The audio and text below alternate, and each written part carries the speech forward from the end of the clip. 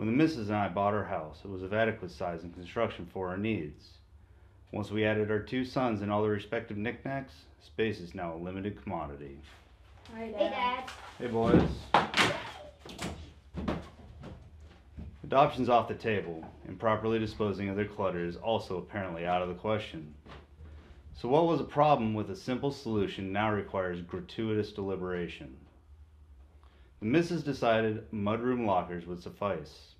Place for each family member to organize their bric-a-brac, sit, put on shoes, and add functionality to an otherwise utterly wasted space.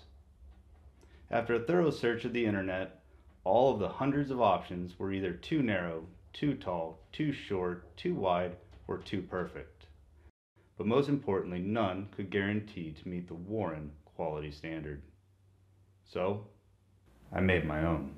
It's not rocket science. I have access to SOLIDWORKS, one of the most powerful engineering design tools, in a more than adequate woodshop. I took measurements, designed the model,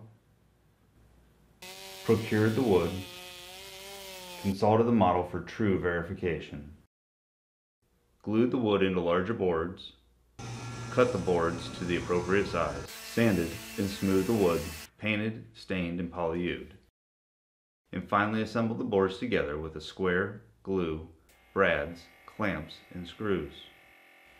Any relatively handy person with SOLIDWORKS, woodworking tools, and any measurable gumption could have done the same. The whole project only took me 20 minutes.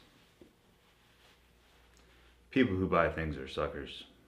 To learn more about how the lockers were designed in SOLIDWORKS, check out our next video. And always remember to like and subscribe.